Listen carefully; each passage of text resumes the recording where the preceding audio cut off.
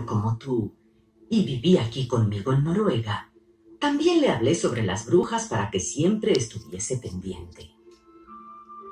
Ahora, lo más importante que debes saber sobre las verdaderas brujas es esto.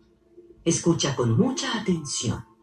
Las verdaderas brujas se visten con ropas comunes y parecen mujeres comunes.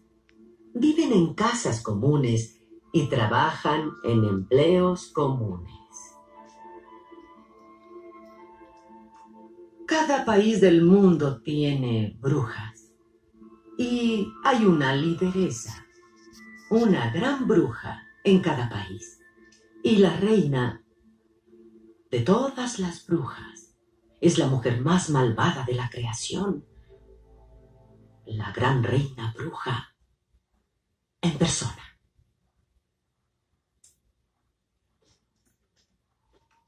Las brujas pasan su tiempo tratando de cazar niños, acechando al pobre niño como un cazador acecha a un pájaro en el bosque. ¿Ellas te casaron?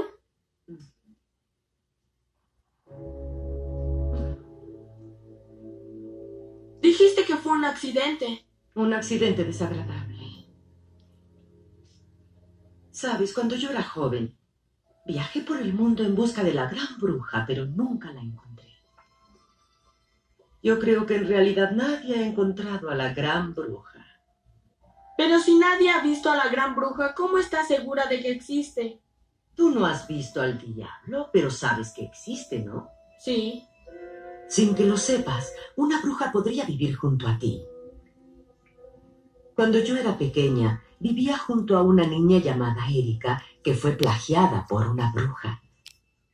Erika tenía padres muy estrictos pero ni eso salvó a la pobre Erika, porque cuando una bruja elige a su víctima, solo hay una esperanza de escapar. Saber todo acerca de ellas. Por eso te lo estoy diciendo. Por eso te estoy previniendo. Erika, ven. Lo que las hace peligrosas es el hecho de que no parecen peligrosas. Nunca puedes estar seguro de si es una dulce señora o una bruja. Erika. ¿Qué te parece mi nueva pintura? Es magnífica. Ve a la tienda y compra un litro de leche. ¿Mm? Sí, papá. Y ven directo a casa. Sí, papá. Las verdaderas brujas odian a los niños. Las verdaderas brujas son calvas. Aunque claro, usan pelucas. Que les